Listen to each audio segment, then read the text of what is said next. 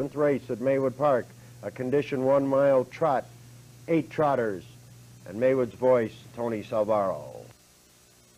Length Supreme Count. In third, here comes Neville Paydirt, ranging up on the outside looking for cover, and he brings up Star Bright Imp. They're heading for the half. It's Ole and Scow and Lucy Cow. In command by three lengths, Jodovin's Pride. Right there in second on the outside, Neville Paydirt. Now moving third, now moving second, and they're off the half. 101 and 2. Into the clubhouse turn, Lucy Cow. Your leader by two and a half lengths. It's Jodovin's Pride. In second on the outside, it's Neville Paydirt in third, followed by Supreme Count in fourth. On the outside, it's Starbright Imp Arbor Zenny. And to the outside, Mitch's Kelton King Carl. Out of the turn, moving up the backstretch, your leader, Lucy Cow. On the inside, it's Jodovin's Pride right there in second with Neville Paydirt on the outside in third, followed by Supreme Count. He wants out of fourth. On the outside, it's Starbright Imp. Now they race around the far turn. Lucy Cow by three and a half lengths. It's Jodovin's Pride in second, Supreme Count.